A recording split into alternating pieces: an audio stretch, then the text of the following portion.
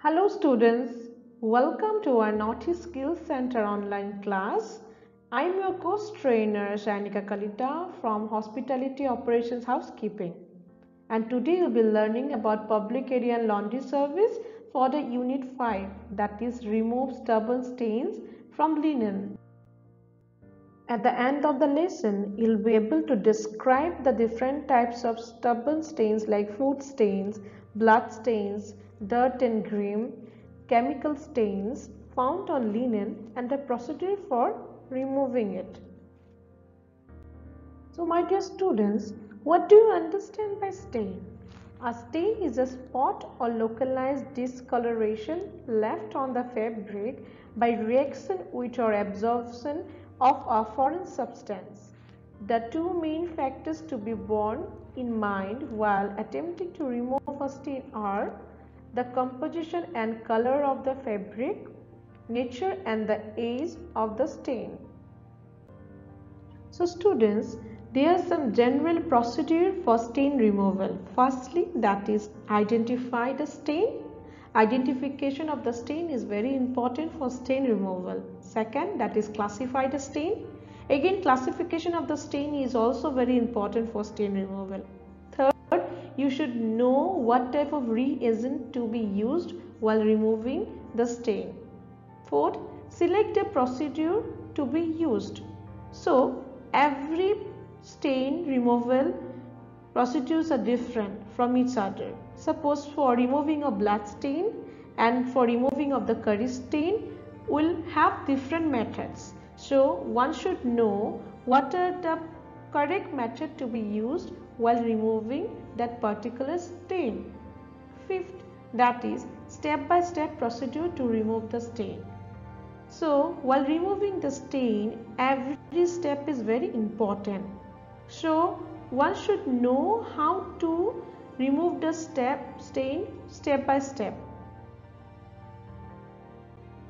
So, students, before going into details about the general procedure for stain removal, let me explain you about the principle of stain removal. These principles are very important while removing stains. Firstly, all stains should be removed as earliest as possible while they are still fresh. This is very important students. You should not keep a stain for longer hours. You should treat as as very important. So you should remove it as soon as possible. Known stains should be treated with specific reagent mean for their removal. So, suppose for removing of lipstick stain, you already know that this type of reagents are used for lipstick for removing of lipstick stain. So, you should not wait for long hours, you should remove it as soon as possible. When using things like lemon juice, alcohol or vinegar do a small test on a fabric in an unnoticeable spot to test color fastness. So, while using juice, alcohol or vinegar, which many of us use in our household for removing stubborn stain, you should always try the same technique in a cloth where there is no stain so that you will know that the color is not fading away from the linen. Lastly, never mix bleach and ammonia together. So never you mix bleach and ammonia together. So moving to our next slide. So students, in our previous slides, we have already studied about the general procedure of stain removal. Now let us go in detail. First, that was identification of stains. So identification of stains is very important for removal of that stain. So how do you identify that? First is by the color. So the color of the stain generally gives a strong clue as to what the stain is. For instance, a red stain may be due to ink, tomato, lipstick, nail polish, blood or some medicine. A yellow stain may be caused by gravy, turmeric, a medicine or mangoes and the blue or black marks may be ink stain. So whenever you see the color of the stain, you will come to know what type of stain it is. Second, that is odor or smell. So, if the surface of the stain is rubbed with the fingers and then the finger and the stain are smelled, it might be helpful in identifying the stain. For instance, egg, perspiration, medicine, food, perfume and so on. Okay, so if you have got some stain in your shirt, so how you know it? By the odor. You will come to know if the stain is of curry or perfume or any other medicines. Third, that is texture. By touching the surface of the stain, a clue may be obtained. For instance, if the stain is hard to the touch, it may be egg. A soft stain could be oil, ghee, lipstick or any grease-based stain. Sticky stains may be glue or gum. Stiffness may be caused by egg or some other albuminous stain and paint stains usually have smooth fill. The visual texture or appearance of the stain also gives some clue to the kind of stain. Wax and paint stains build up on the surface of the fabric. Oils and fats cause translucent stain. So that's all students about the identification of stain. Let us move to our next slide that is about the types of stains. So now we'll study about the types of stains. First is absorb stains. Absorb stains are caused by the items which can penetrate in the fabric easily. Example beer, tea, cough syrup, coffee, cola, etc. Next is built up stain. Built up stains are those stains that cannot penetrate the fabric and lie on the fabric surface such as temper, tar, paint, sealing wax, glue, etc. Third is the compound stain. Compound stain is the combination of absorbed stains and built up stain. Blood stains are the good example of this type of stain. Students, hope you have understood the types of stain. So moving to our next slide. So students, in our general procedure for stain removal, remember the second point that is classification of stains. So let us study about the classification of stains. First is animal stain. These are caused by animal products such as blood, eggs, milk, meat, urine and so on. The major content of the stains except perspiration and urine is protein. Therefore, warm water should never be used on them as it coagulates the protein and set the stain. Second is vegetable stain. The stains are caused by plant products such as tea, coffee, juice, fruit, grass, tomato, gravy, wine and so on. Major component of many of these stains are cellulose and plant pigments. Third is grease. These stains are from grease or some pigmented matter with a grease base. This class includes stains such as butter, curry, oil, paint, varnish, tar, paraffin, car grease, ghee and so on. A grease solvent or absorbent is required to remove this stain. Okay, so again there are many stains like mineral stains, the stains are caused by writing ink, medicines, dye stuff, rust and so on. Next is acidic stains. These include stains such as perspiration, urine that is fresh, vinegar and medicines containing nitric acid, picric acid and so on. Then there are lot of many stains. So Lastly, there are some stains which is known as the miscellaneous stains such as mud, mildew, etc. So students let us study about the classification of stain removal. So what are the classifications of stain removal? First is solvents. So in solvents what are there? There are hydrocarbons, petroleum based alcohol, chlorinated hydrocarbons, kerosene, acetone, glycerin, ethyl alcohol, turpentine, carbon tetrachloride. So those are solvent that are used for stain removal. Then is bleach, oxidizing bleach, reducing agents, hydrogen peroxide, oxalic acid, potassium permanganate, sodium bisulfate. So these are the bleach used for stain removal. Next is fats and oil. So what in fats and oil? What are these?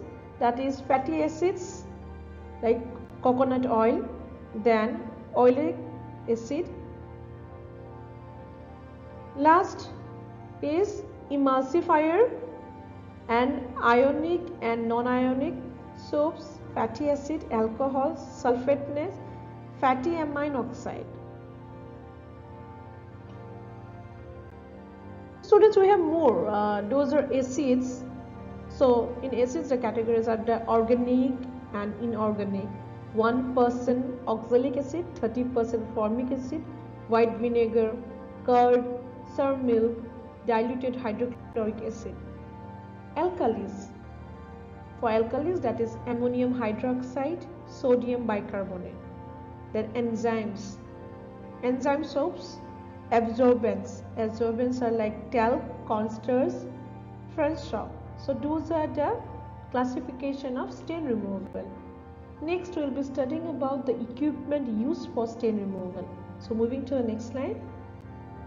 Students hope you have understood the classification of stain removal. It is very important to know about the classification of stain removal for removing of the stain. So now we'll be studying about the equipments used for stain removal. So what are the equipments? Those are spotting table, brushes, steam gun, chamois, absorbent pads, magnifying glasses, drying cabin.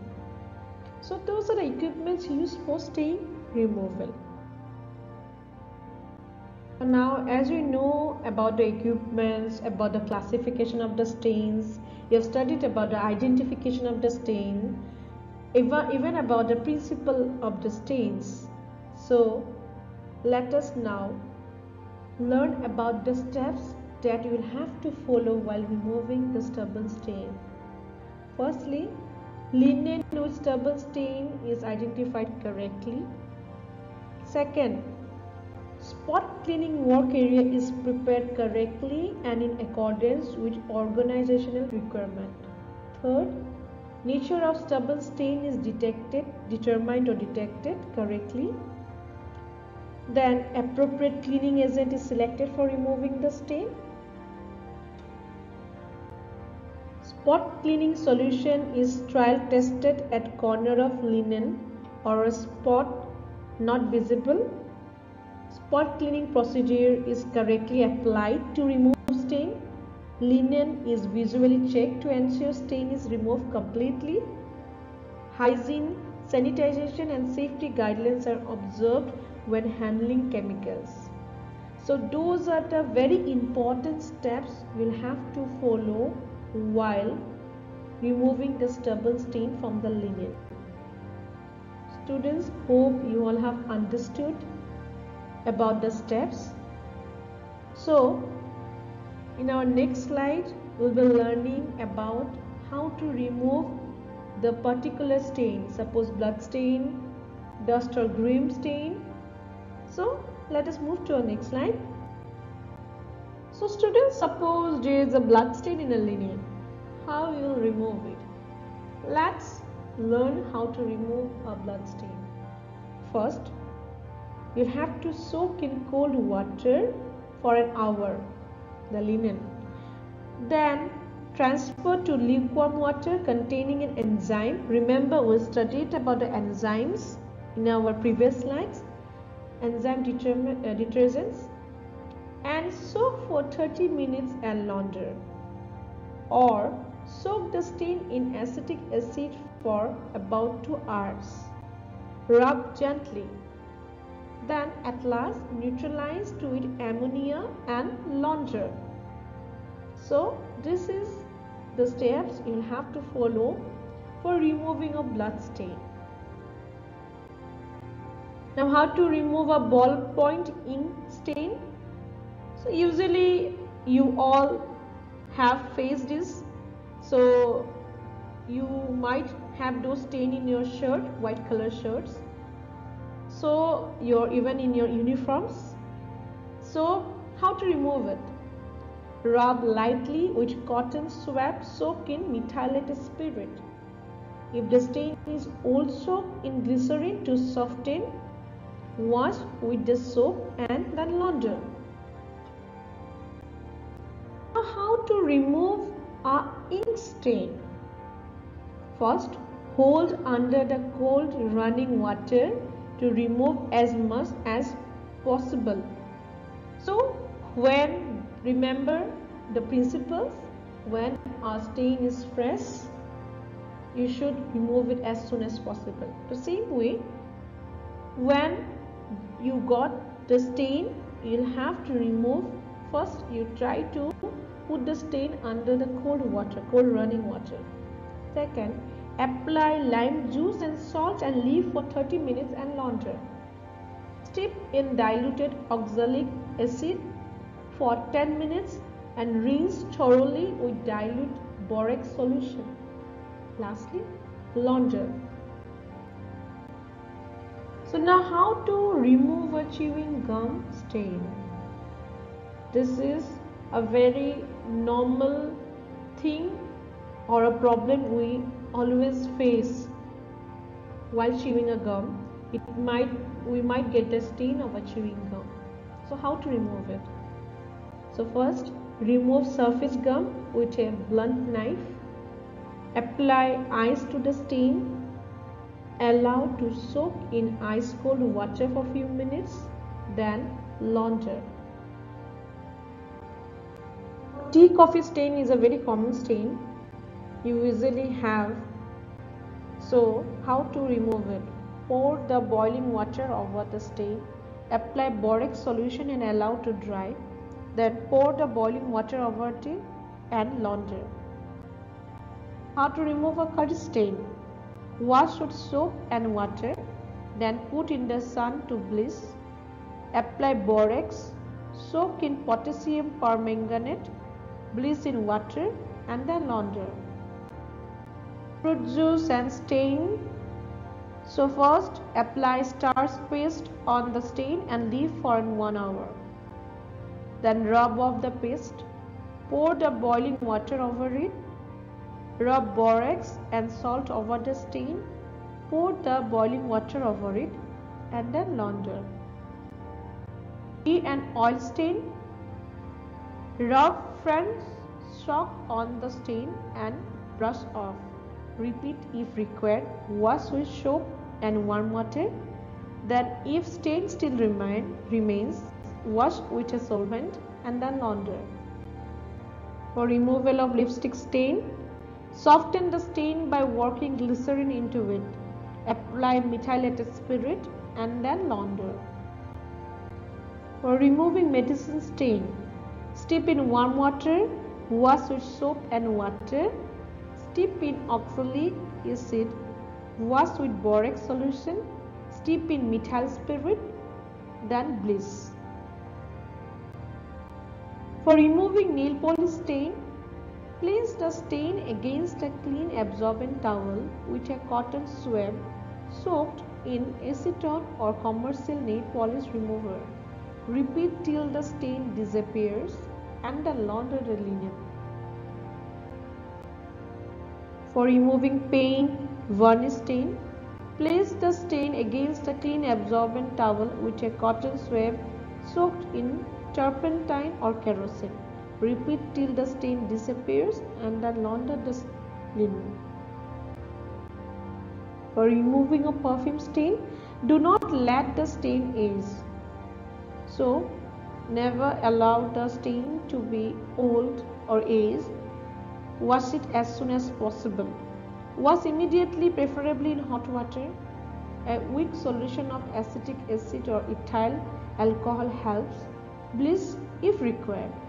If not required, don't bleach because the color may fade away of the linen. For removing of iron rust paint, a patented rust remover may be used or the stain may be soaked in cold 1% oxalic acid for about 15 minutes. Then rinse in dilute borax solution and then launder the linen. For removing of shoe polish, sponge with liquid detergent, steep the stain in carbon tetrachloride or turpentine. If the stain is old, soften with glycerin first, then bleach if required.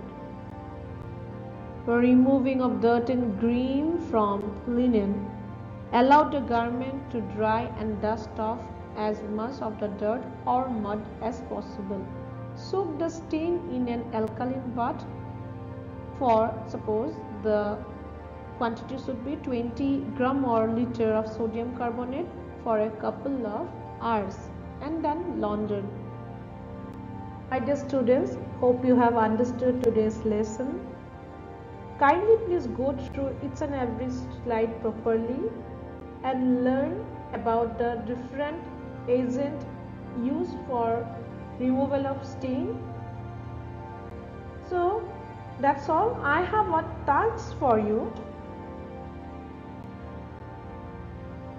So please write in your own words about your learnings from today's class and submit it in the Google Classroom.